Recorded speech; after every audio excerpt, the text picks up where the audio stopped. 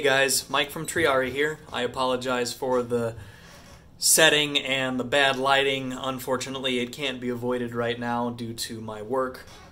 I want to talk to you today about the Olight M2R Pro Warrior. This is a flashlight that I picked up on a Black Friday sale from Amazon for about $82 and some change, I think. I'm used to using the Streamlight ProTac HLX. I wanted to give this light a try. I've heard some very mixed reviews about Olight. I've heard good things, I've heard bad things. I wanted to try one of their products for myself and see if it was something that I wanted to carry in my own personal kit and possibly recommend to others. So I ordered this light, like I said, on a Black Friday sale. I believe it was $82 and some cents. I just received it last week and I want to do a little unboxing and just a short video talking about my thoughts.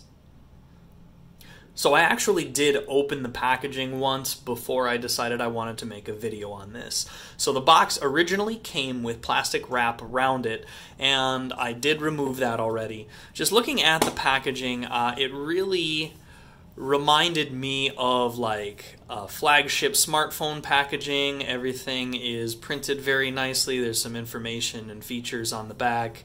Uh, like I said, the packaging just really reminds me of a higher end smartphone, which I know is not necessarily indicative of the quality of the product inside, but I was impressed by the packaging that it came in. The box is a magnet closure, and if you open it up, there's this nice little note here that says, Thank you for being a part of our Olight family. Your support is why we do this. Enjoy. There is a card here that uh, says, Congrats on your new Olight M2R Pro Warrior.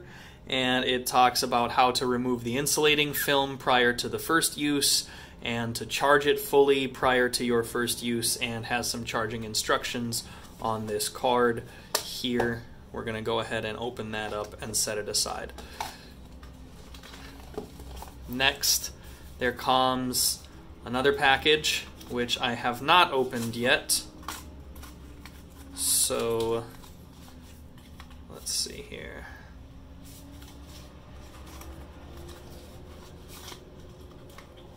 This appears to be a lanyard for the light and also the charging cable. Now, one thing that I liked about these is that they're a USB rechargeable light uh, that affixes via a magnet, so you're not plugging anything in. It's very easy to charge in the downtime or when it's not being used. That was one of the features that drew me to this light to start with, and it looks like the charging cable shipped with a protective cover over the USB plug um, again, not necessarily indicative of the product and its quality, but I do like the packaging. And then here is the actual user manual, which, as we all know, shouldn't be read. We should just plug the product in, charge it up, and start using it immediately.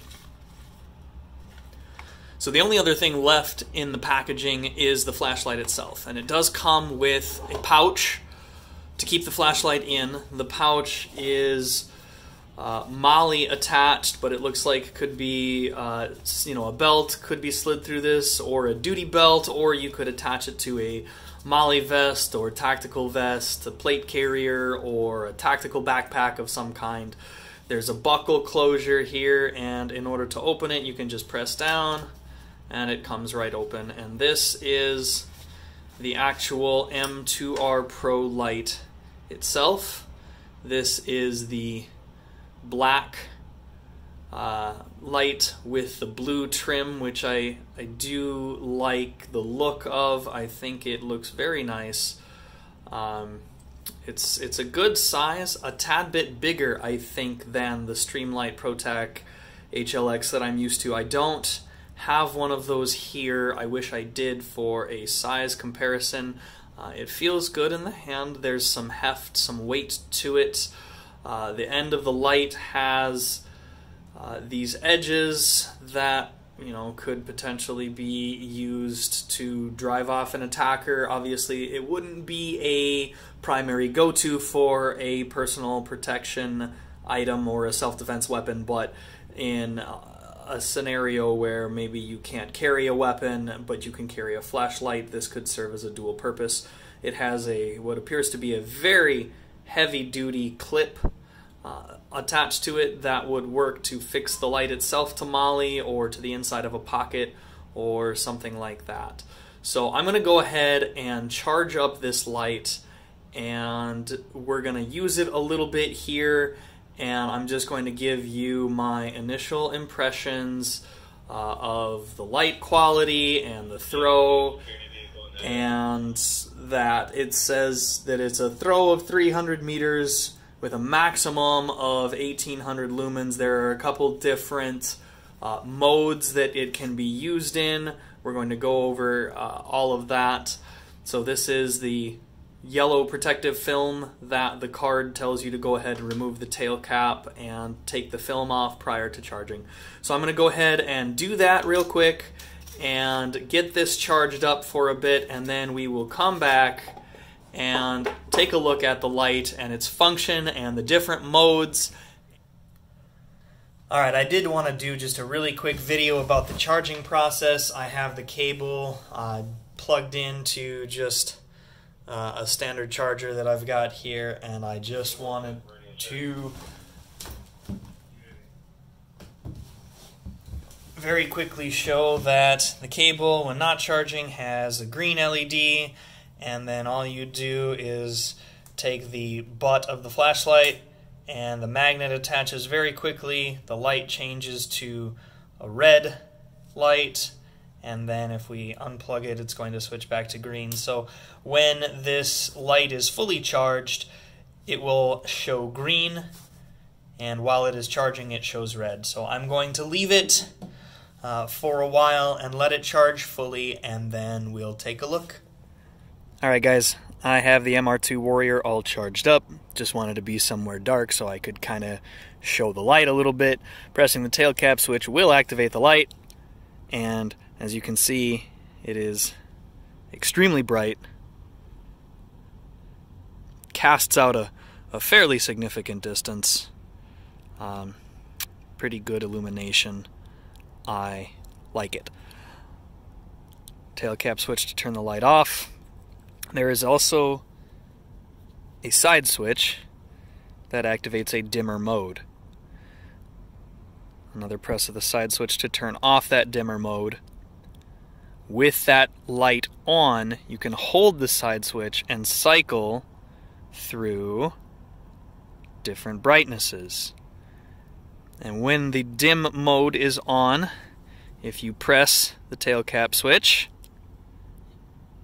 you automatically activate the brightest mode. Pressing the tail cap switch again turns the light off. But the next time that you use the side switch, you're right back into the last mode that you had it on.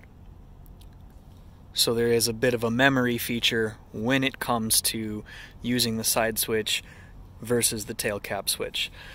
One thing that I have noticed about this light is that it tends to get hot fairly quickly when you're running it in the bright mode. Um, it hasn't uh, caused any kind of failures. It's not enough to hurt the hand or impede use of the flashlight in any way. So, whether that's relevant to you or not, I can't really say. Um, but there you go. The MR2 Warrior by Olight.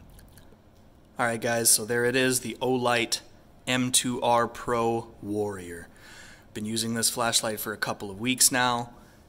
The charging is really convenient. It's very easy to carry.